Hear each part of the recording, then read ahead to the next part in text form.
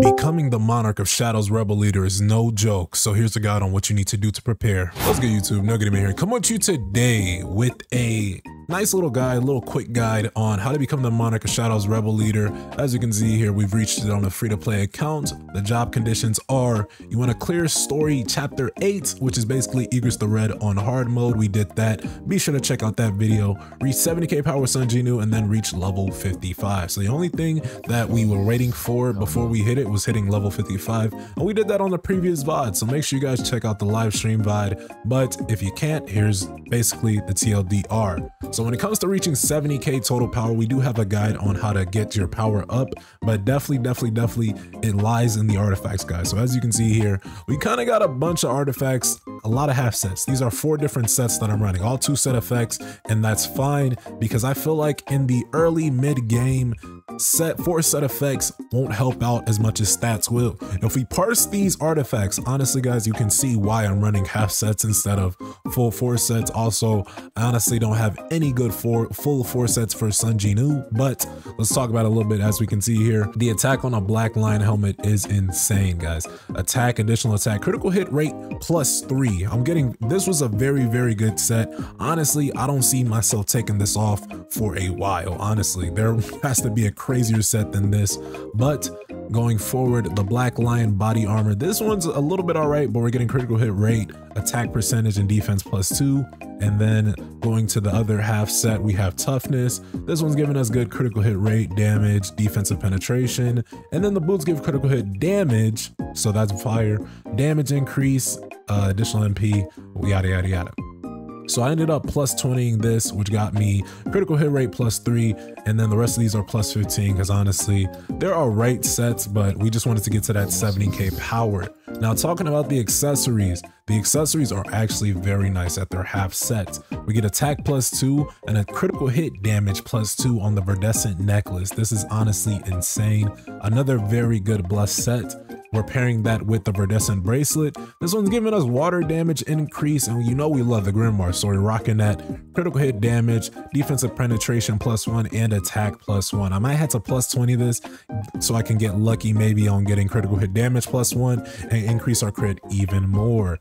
Moving forward to the last half set, rocking champion on the field. Now again, this is fire. We're getting attack as the main stat, defensive penetration, critical hit damage plus two, damage reduction plus two, and a good amount of HP. And then the necklace, or the earring, sorry, we got damage plus two, and then critical hit damage plus one, defense penetration, and of course, they're always the additional MP. So not bad artifacts. If we go back to the artifacts, these are the boosts that I'm getting from the artifacts alone. So I'm getting almost a 50% buff in my attack percentage just from artifacts, an 8% buff in HP, a good amount of defense here, and then critical hit rate 4,800. And I need to find a better artifact to use because the cap is 4,000. So I do need to swap out one of these artifacts very, very soon. But we're grinding our instants, we're grinding our encore dungeons, and through there, we'll be able to get a better set eventually. We're on tier 8. We've 3-starred tier 8 Igris and Lycan, so that's very, very nice. As we can see here, Lycan, that's a 3-star.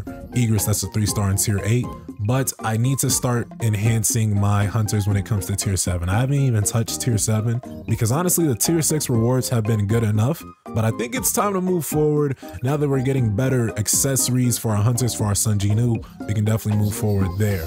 Also, what's increasing our power is definitely the Grimoire and the Plum Sword, but it's more so the Grimoire because we have two stars on that, which is basically otherwise known as A2 or two advancements. If we swing down to our armory, we can see here that I ended up plus oneing this, so we got a nice little buff when it came to the transfer ratio. So we got that. And then I think I did the same. Yes, I did for the demonic plum flower sword. So guys, definitely you want to try and upgrade your army as soon as you can. It just takes these market time. You'll get these throughout the story mode. So you don't really have to buy that. You can also get that in the exchange shop, but I wouldn't really focus on that. You'll eventually have some of those regardless. The very last thing that can boost your power is leveling up your skills as well. So it doesn't even matter which skill if you have them equipped or not. So just keep that in mind. You guys definitely want to be upgrading your skills. Not saying you should just upgrade useless skills. You definitely want to upgrade the skills that you're going to use more often. As you can see here, these all these bottom skills are level 8 and above, right? So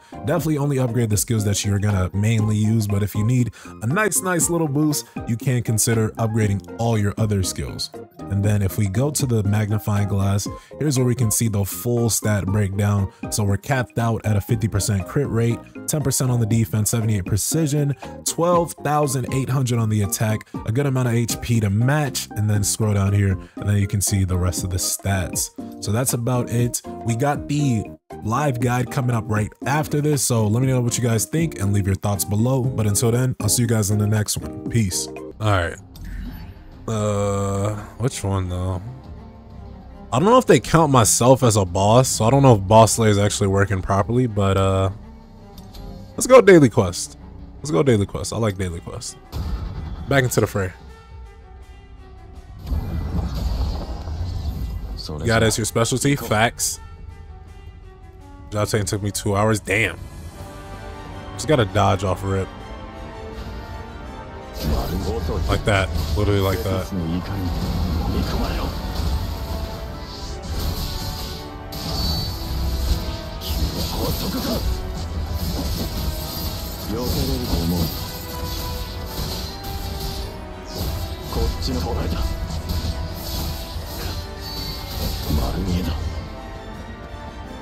Leave me alone! Leave me alone! Freeze. Freeze, bitch.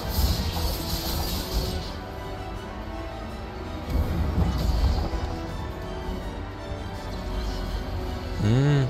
You know, Igris being here is actually crazy. And that looks like a leak. That that looks like a general Igris, bro.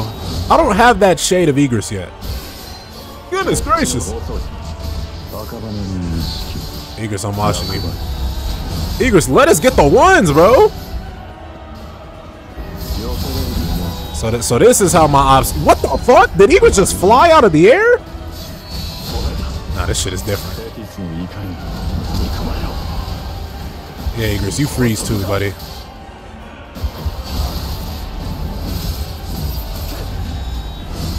Igris, bro, let me get the ones, dude. What is this, a 20v1? Oh my goodness! Yo, I hope I hope Igris actually gets an upgrade to do that. Okay, okay, okay. You know, I didn't like that, buddy.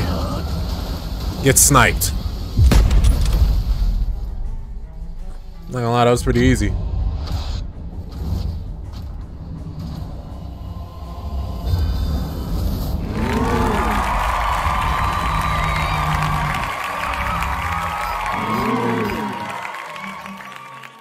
Monarch of Shadows, Rebel Leader.